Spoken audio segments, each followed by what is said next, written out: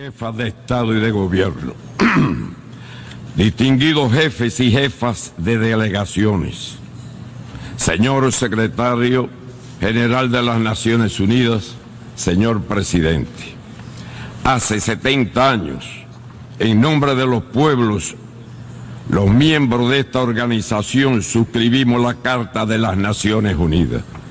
Nos comprometimos a preservar las generaciones venideras del flagelo de la guerra y edificar una nueva forma de relacionarnos bajo la guía de un conjunto de propósitos y principios que debían augurar una época de paz, justicia y desarrollo para toda la humanidad. Sin embargo, a partir de entonces, han sido constantes las guerras de agresión, la intervención en los asuntos internos de los estados, el derrocamiento por la fuerza de gobiernos soberanos, los denominados golpes suaves y la recolonización de territorios sido perfeccionados con formas de actuar no convencionales, con el empleo de nuevas tecnologías, y esgrimiendo supuestas violaciones de los derechos humanos. Es inaceptable la militarización del ciberespacio y el empleo encubierto y legal de las tecnologías de la información y las comunicaciones para agredir a otros estados, como también lo es que se distorsione la promoción y protección de los derechos humanos utilizándolos de forma selectiva y discriminatoria para validar e imponer decisiones políticas. A pesar de que la Carta nos llama a reafirmar la fe en los derechos fundamentales del hombre, en la dignidad y el valor de las personas humanas, el disfrute de los derechos humanos continúa siendo una utopía para millones de personas. Se niega a la humanidad el derecho a vivir en paz y su derecho al desarrollo. Es en la pobreza y la desigualdad donde deben buscarse las causas de los conflictos generados por el colonialismo y el despojo de las poblaciones autóctonas primero y más tarde por el imperialismo y el reparto de esferas de influencia. El compromiso asumido en 1945 de promover el progreso social y elevar el nivel de vida de los pueblos y su desarrollo económico y social sigue siendo una quimera. Cuando 795 millones de personas sufren hambre 781 millones de adultos son analfabetos y 17 mil niños mueren cada día de enfermedades curables. Mientras que los gastos militares anuales en todo el mundo ascienden a más de 1,7 millones de millones de dólares. Con solo una fracción de este monto, podrían solucionarse los problemas más acuciantes que azotan a la humanidad. Incluso en los países industrializados ya prácticamente desaparecieron las sociedades de bienestar que se nos presentaban como el modelo a seguir. Los sistemas electorales y los partidos tradicionales que dependen del dinero y la publicidad son cada vez más ajenos y distantes de las aspiraciones de los pueblos. El cambio climático pone en peligro la existencia de la especie humana y los estados deben asumir responsabilidades comunes pero diferenciadas ante la inobjetable realidad de que no todos los países somos responsables por igual de lo ocurrido, ni despilfarramos los recursos naturales y humanos en un consumismo irracional e insostenible. Las consecuencias del cambio climático son especialmente devastadoras en los pequeños países insulares.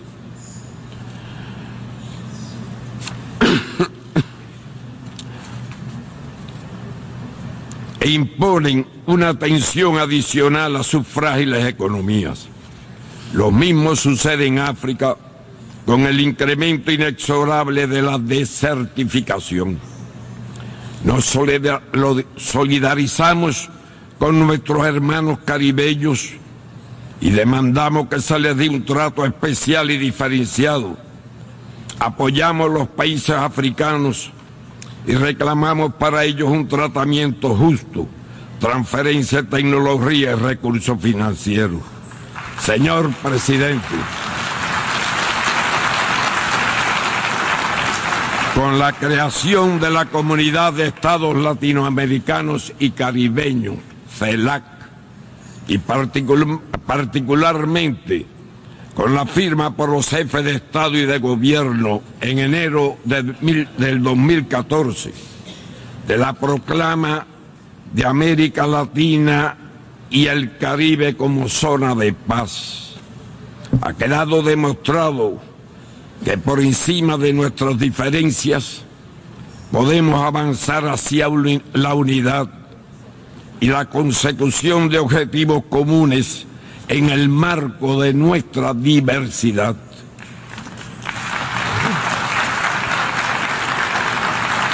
En la proclama reafirmamos el compromiso inquebrantable con los principios de la Carta de las Naciones Unidas y el derecho internacional y de resolver las diferencias de forma pacífica, así como la convicción de que el pleno respeto al derecho inalienable de todo Estado a elegir su sistema político, económico y social y cultural constituye una condición esencial para asegurar la convivencia pacífica entre las naciones.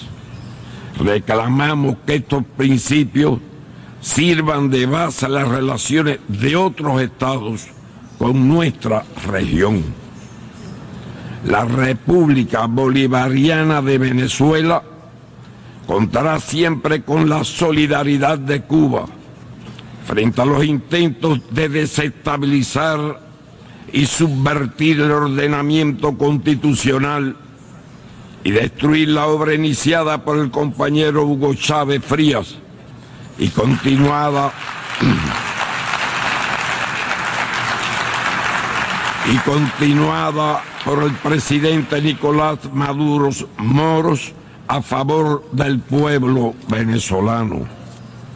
De igual manera, va nuestra firme y restricta solidaridad a la República del Ecuador, a su revolución ciudadana y a su líder Rafael Correa Delgado, que se ha convertido en el blanco del mismo guion de desestabilización aplicado contra otros gobiernos progresistas de la región. Nos solidarizamos con las naciones del Caribe que solicitan justas reparaciones por los horrores de la esclavitud y la trata de esclavos sobre todo en un mundo,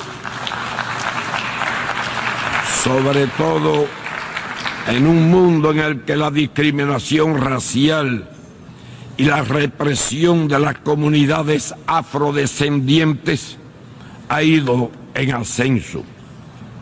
Ratificamos nuestra convicción de que el pueblo de Puerto Rico merece ser libre e independiente y luego luego de más de una centuria sometido a la dominación colonial. Nos solidarizamos con la República Argentina en su legítimo reclamo de soberanía sobre las Islas Malvinas, Sandwich del Sur y Georgia del Sur.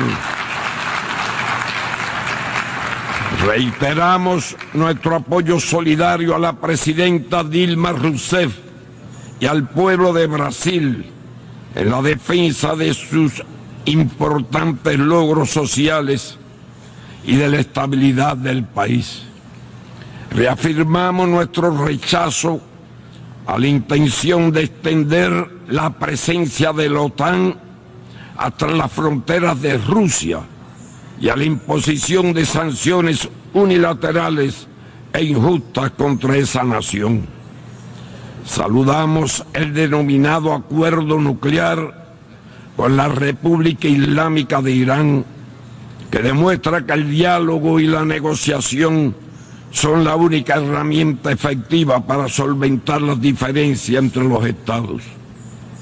Renovamos nuestra confianza en que el pueblo sirio es capaz de resolver por sí mismo sus diferencias y demandamos que cese la injerencia externa.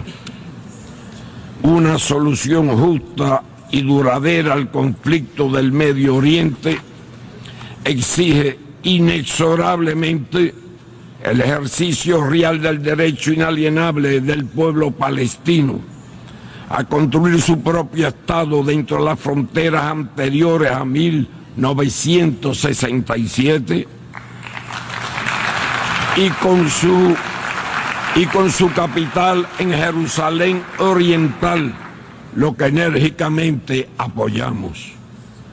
Durante las últimas semanas nos han impactado las imágenes de las oleadas migratorias hacia Europa, que constituyen una consecuencia directa de las acciones de desestabilización que la OTAN promovió y ejecuta en países del Medio Oriente y África del Norte y del subdesarrollo y la pobreza imperante en países del continente africano.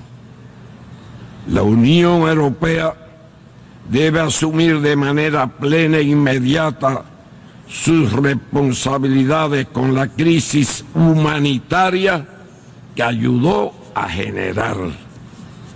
Señor presidente, tras 56 años de heroica y anegada resistencia de nuestro pueblo, quedaron restablecidas las relaciones diplomáticas entre Cuba y los Estados Unidos de América.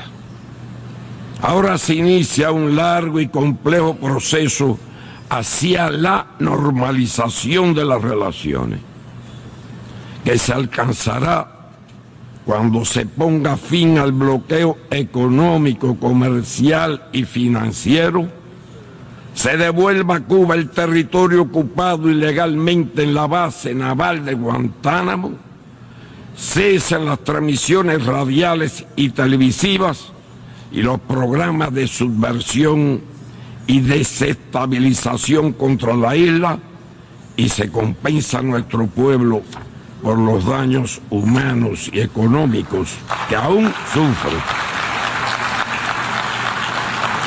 Mientras, mientras persista, continuaremos presentando el proyecto de resolución titulado necesidad de poner fin al bloqueo económico, comercial y financiero impuesto por los Estados Unidos de América contra Cuba. A los 188 gobiernos y pueblos que han apoyado aquí y en diversos foros internacionales y regionales nuestra justa demanda les reitero el eterno agradecimiento del pueblo y al gobierno cubanos por su sostenido respaldo. Señor presidente, Cuba celebra con profundo compromiso el 70 aniversario de la Organización de las Naciones Unidas. Reconocemos que en estos años han intentado pero no se ha hecho lo suficiente para proteger a las generaciones presentes y futuras del flagelo de la guerra y su derecho a un desarrollo sostenible sin exclusión. La ONU ha de ser defendida del unilateralismo y profundamente reformada para democratizarla y acercarla a los pueblos.